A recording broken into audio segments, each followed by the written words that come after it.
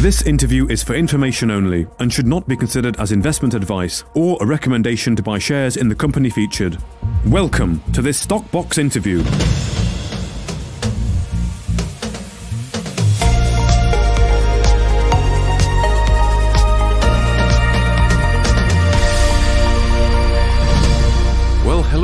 Welcome to the Research Talks podcast here again on a Friday with Alan Green here on Stockbox. And yet again, it's a sunny it's a sunny sky, Alan, but it's still chilly. I don't know what it's like in the UK, but it's still very chilly over here in the Netherlands.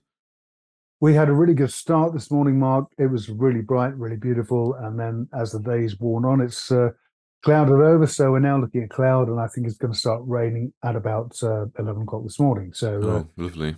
and and the forecast, frankly, for the rest of the weekend and next week is pretty shocking. So, Well, I will just mention uh, Stockbox, of course, are going to be at Minds and Money next week. Uh, you might be there, depending on your schedule. So look forward to seeing you if you are there, Alan. But um, we will be there uh, all all those two days, sort of interviewing different companies and, and generally covering the event. So do please please keep an eye on uh, on our YouTube channels and Twitter for some of the latest things. And if anyone is heading down, do uh, do pop by and say hello. Should be a nice little event. Um, of, uh, of getting to know CEOs a bit more personally. It's more one to one kind of style, from what I understand. This one. So, yeah, I think it is, Mark. Uh, um, and I'll, I'm I'm aiming to get there. Hope, very much hope to. But uh, if I don't get to that, I will definitely see you at the UK Investor Show, which is in a few weeks. Indeed, only in a couple of weeks extra time. Indeed, yes. Yeah. Um, yeah, that's very true. Two weeks after that, um, yeah, we do have uh, discount codes for both of those events. So do check out our Twitter feed if you want discount codes to uh, to get the investor pass there. Anyone. But today we're going to talk about. I mean, last week we talked about some success stories, didn't we, of uh, quarter one, and looking at success stories for quarter two, and two companies that we didn't mention who have had very good success just this week: Ondo, InsurTech, and uh, and Vela Technologies. Ondo yesterday being up over hundred percent at one point on uh, a contract win there, which you'll tell us all about, Alan. But uh, yes, some, some couple of good success stories, aren't we, to talk about today?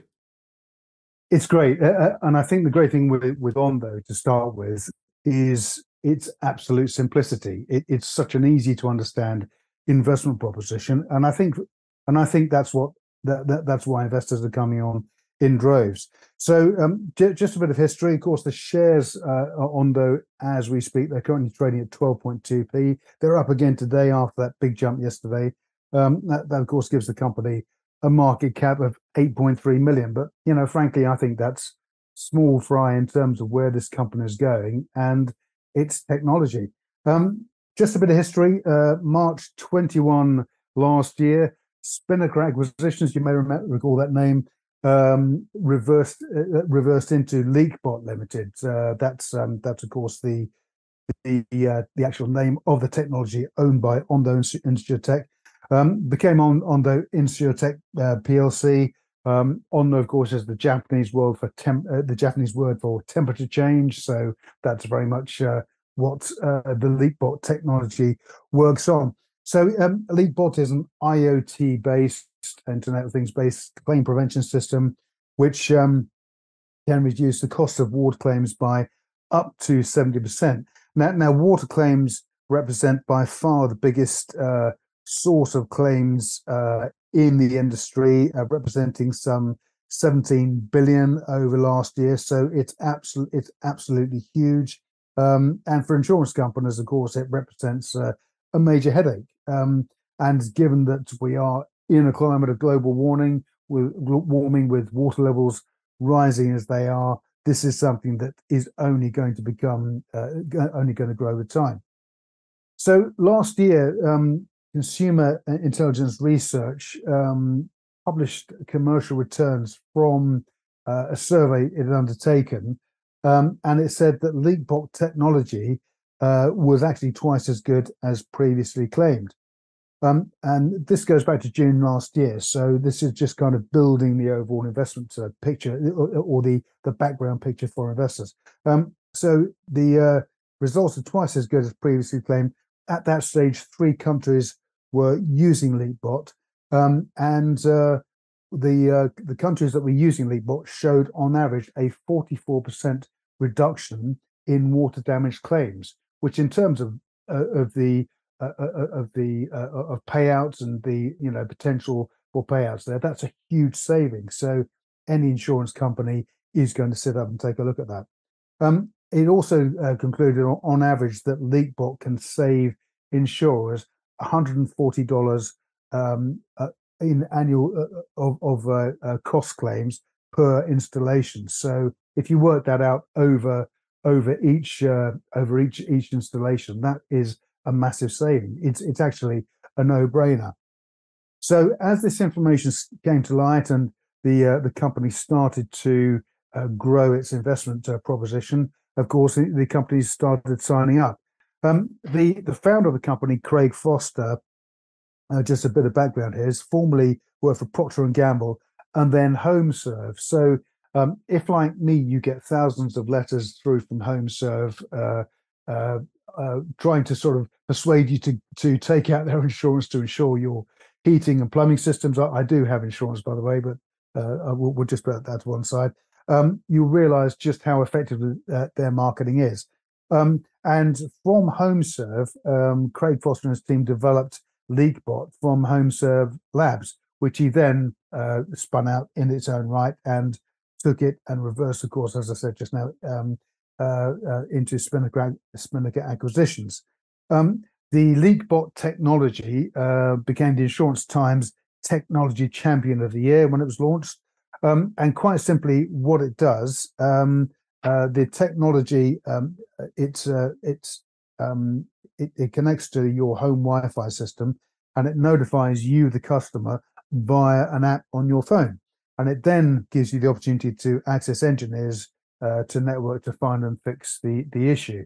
So that's hugely important. And of course, um, you know, if you're away on holiday, uh, you know, if you're either traveling, you're away from the house, and all of a sudden there's a leak, um, instead of the house slowly filling up with water, you'll get a message straight away, so the engineers can get out and fix it, and hopefully use the neighbour's key or a member of the family to get it and sort it. So you can get some idea of the potential cost saving involved there.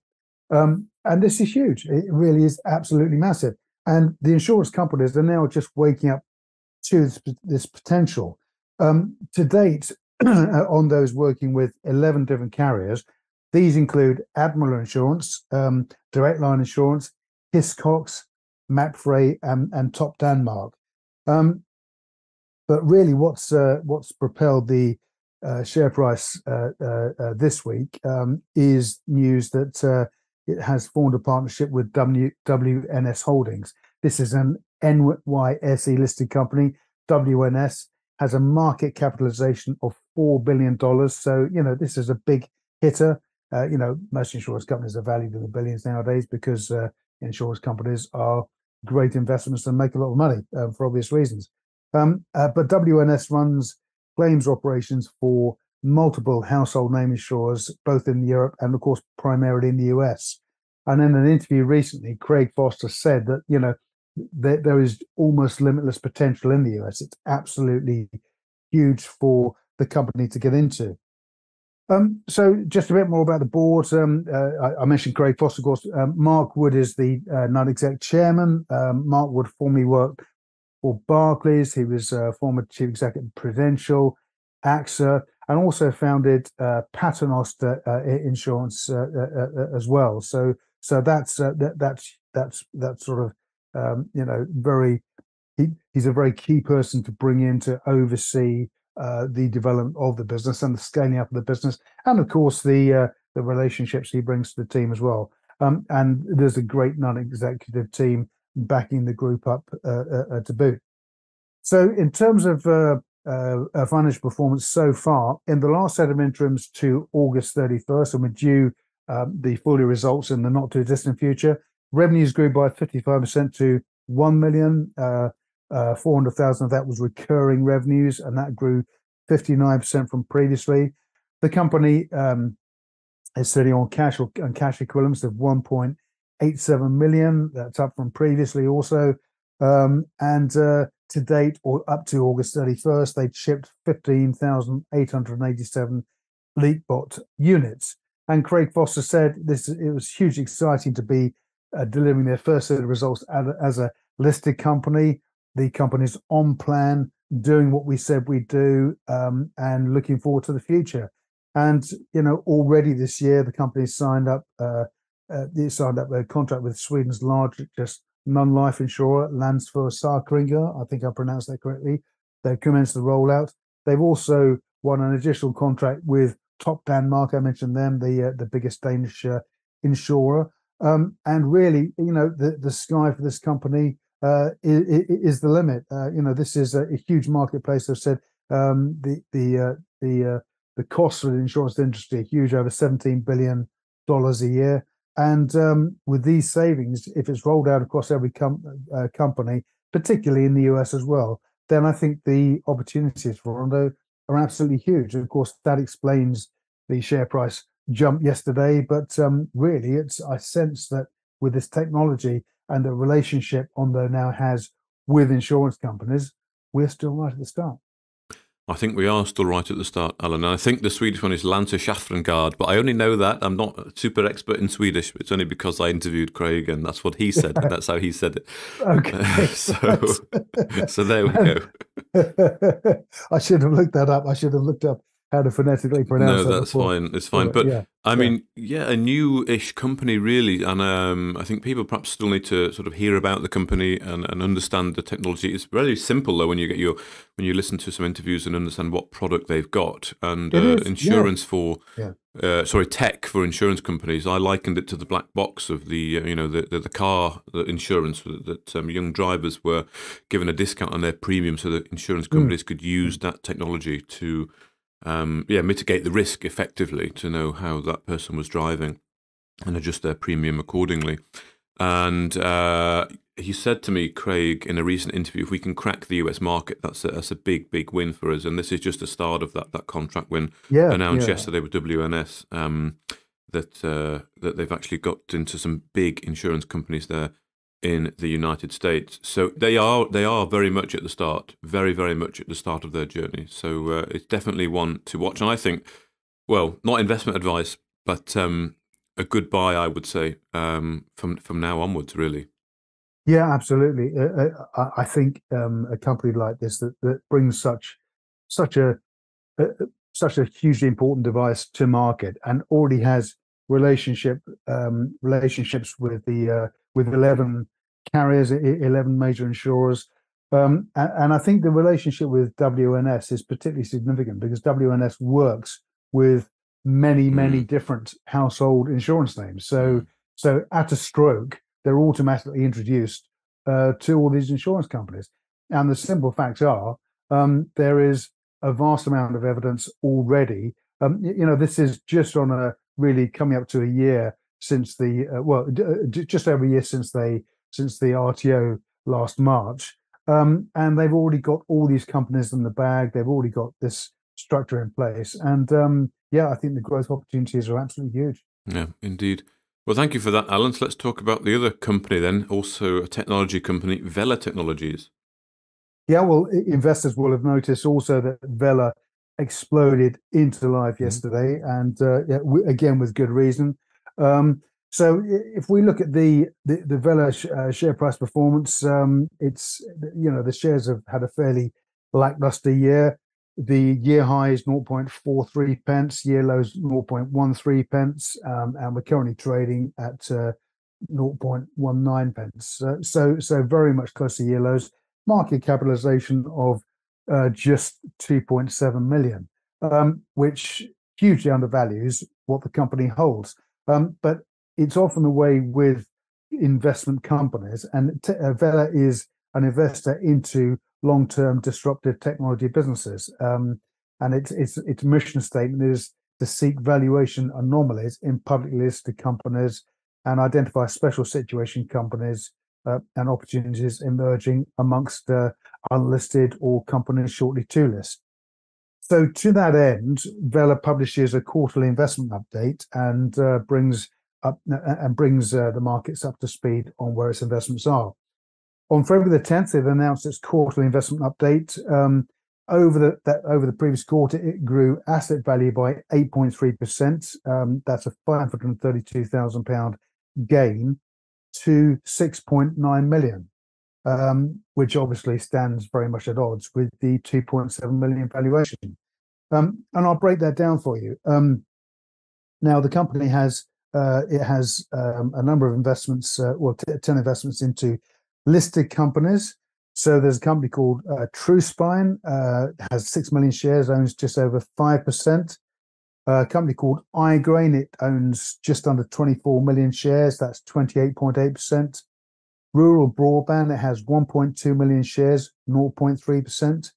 Uh, Northcoders, 316,666 shares, and also participated in a secondary placing recently, owns about 4.5% of that company. Guildcast, 675,000 shares, 0.7% of the company. Um, Ensilica made another recent investment in the company, now owns 1.4%. That's just over 1.1 million shares. Um, MTA, MTI Wireless Edge, it owns a quarter of a million shares at 0.28% of the company. Uh, Canobo, of course, the uh, the cannabis company it owns 1.3 million shares, just over 0.3% of the company.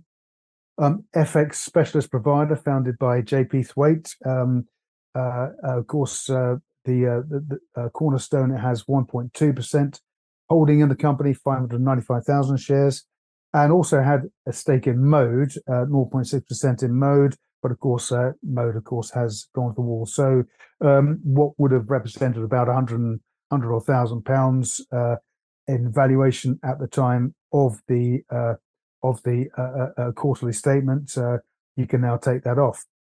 We then come to unlisted entities. we have WeShop, um, where the company, which is Community Social Investment Limited, company owns 71,000 shares. That's 1.3 percent. Aristech, a technology company, 143,000 shares, just over 1% again. And then it has an 8% economic interest in the drug AZD 1656, which is, of, course, the COVID 19 and diabetes drug. Now, if this sounds familiar, it's because, uh, of course, uh, we spoke about Cizzle Biotech last week, and Cizzle Biotech also has an interest in AZD 16562. And you may recall that um, uh, Cizzle Biotech shares uh, rocketed on the news that, uh, well, rocketed, they certainly jumped on the news that they had struck a put option with uh, Conduit Pharmaceuticals. Now, Conduit Pharmaceuticals are shortly to list on the NASDAQ with Murphy Canyon Acquisition Corp. Uh, Corporation. They're shortly to uh, merge in with that company and become a listed entity. Um, what Cizzle Biotech did was pay 120,000 for um, a, a, a, a premium for a put option uh, at a valuation of 2 million, but the shares could be worth as much as 3.2 million. Um, Vela Technologies have done exactly the same thing. Um, the, Vela Technologies have paid a, a val- they paid a premium of 400,000 and the valuation they expect uh, will be some somewhere in the region of 4 million uh, on, on the on the on the basis of the deal they struck. But of course, bear in mind it'll be shares in uh, the Nasdaq listed entity, when that when that happens, um, the shares could be worth an awful lot more than that. So, given that valuation in on February the 10th didn't take into account really any tangible valuation for St George's Capital, you can actually, in my opinion, add the potential of this put option into that mix right now. And that's why the shares popped up yesterday. But of course, um, bearing in mind that at the end of that quarterly investment update, the company had a cash balance of 864,000. That was up slightly from previously. Um, none of this is reflected in the value of the company. So I think Vela Technologies is a hugely undervalued company. Um, obviously, it jumped on the news yesterday, but I think investors need to take a good look at this. If you go to the website, look at the investment page, all of those investments are broken down quite clearly. And it's a simple question of adding up the valuation of the shares and doing the math. And the math, in my opinion, puts this, uh, particularly with this put option, um, you know, we're, we're, potentially well ahead of the 6.9 million uh, valuation that was quoted in February last year. So 6.9 value, uh, million valuation, add on the the value of whatever you might ascribe to the put option. I've already outlined that. Um, and that stands against a 2.7 million valuation as we speak right now. Okay, so potentially a three packer there, Alan, from your. Uh, I think is I, I, think there's potentially an awful lot more than that. Mm. But uh, I would urge investors to look at the uh, investment page on the website, look at the breakdown of each company. Um, the quarterly investment update is very detailed and it, it, it outlines the activities the company undertakes each quarter. Mm-hmm. Um, and I think you'll see from that that uh, there is uh, that there is well that the company is fundamentally undervalued at every level. Well, thank you for that. So their modus operandi really is to invest in what they see as early stage operations, unlisted, but also, of course, listed, with the view for capital growth, effectively, um, and, and realization of value from those companies as they build on what they're working on. Exactly that. Mm. And if you look at the quarterly investment update, for instance, uh, um, some show, uh, some shares in Ensilica PLC, ENSI is the heavy code, were sold uh, prior to that, uh, but they then participated and bought more shares. So, so the the positions in the listed companies will change, but of course, investments are made. Uh, some shares are sold to to uh, to take to, to to take profits and to uh, add to the cash balance of the company, mm-hmm. and that then, of course, enables the company to undertake stuff like put options. So it's paid out four hundred thousand pounds for that put option, um, and will acquire shares uh, with that merger of up to four million. So yeah, you know that's uh, hugely important and a huge game changer for the company. But despite the blip yesterday, uh, in my opinion, it's the, the the true value of this company isn't reflected in any way. Okay, well, thank you very much, Alan, for talking to us there about Vela Technologies and, of course, Ondo InsurTech, two tech based companies to keep an eye on. So, thank you very much for your time. Hopefully, we'll see you next week. But if not, I wish you a pleasant weekend and um, we'll catch up in a week's time. Thank you, Mark. Look forward to catching up next week. If you enjoyed this interview, then give us a thumbs up, a like, or a retweet subscribe to us on YouTube or follow us on Twitter and hit that notification bell to be the first to know when we release new content. There's loads of great content on our website too, across all our programs at stockboxmedia.com. Thank you for watching.